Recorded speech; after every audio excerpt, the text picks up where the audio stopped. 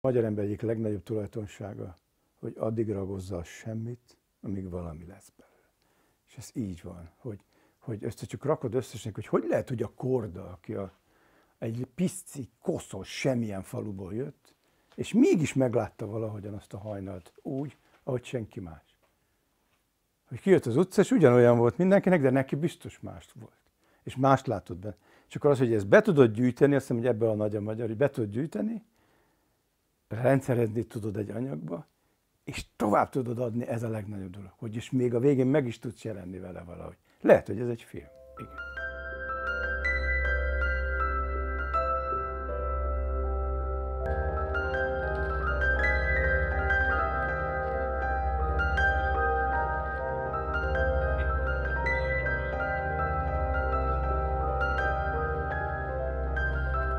Sziszadobon volt, nagyon kicsi gyerek voltam, és lementünk a, a Döktiszára, úgy hívták a helyiek, hogy a Döktisz az a holtág. Elég veszélyes terület, mert tele van ilyen kutak, azt hogy kutak vannak benne, ezt nem tudom, hogy van, aminek van vonzása, pontosabban, hogy örvényszerűen tud működni, hogy le tud húzni valakit, ha, ha, ha aztán haltak is ott meg így.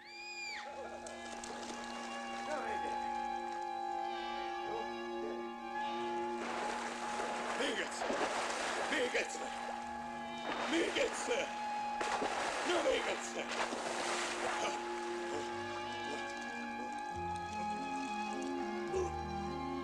Na, még egyszer!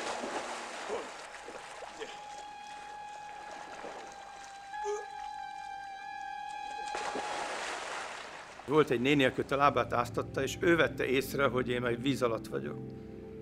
És azt csak annyit mondott a szülemnek, hogy a gyerek. És a, és a apám elkapta, mert a, egy piros kantáros fürdőnadrágom volt, és akkor apám kikapott, elkapta azt a kantárt, és ki tudott emelni. De amíg alul voltam a víz alatt, addig képet láttam, és erre később jöttem rá, hogy én képet láttam.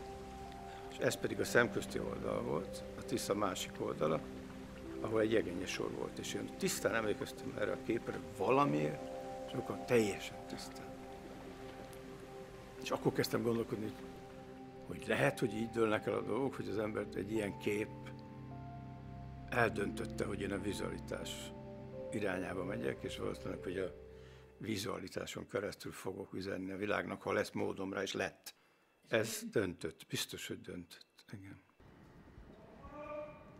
Ték 170, csokorfa. Rettenetes sok tapasztalat, az most itt van velem, bennem van, testem része, hogy úgy mondjam is. És azt most próbálom előhúzogatni, és, és most ezt a történetet azzal, azzal fogom szolgálni, ami most éppen bennem van, vagy aki éppen én vagyok ebben a pillanatban.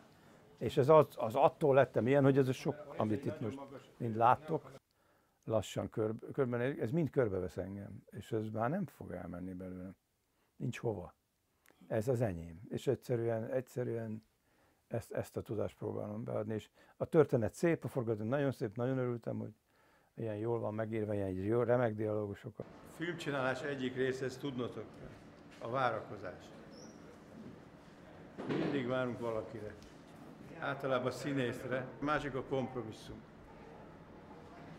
Valaki azt mondta, hogy tulajdonképpen a filmcsinálásban az a kérdés, hogy milyen filmes, hogy milyen kompromisszumokat, kompromisszumokat tudsz egyáltalán kötni, hogy elég jókat vagy elég rosszakat. Mert a sorozat, a kompromisszum sorozatéból áll az egész filmcsinálás. Semmelweis 172,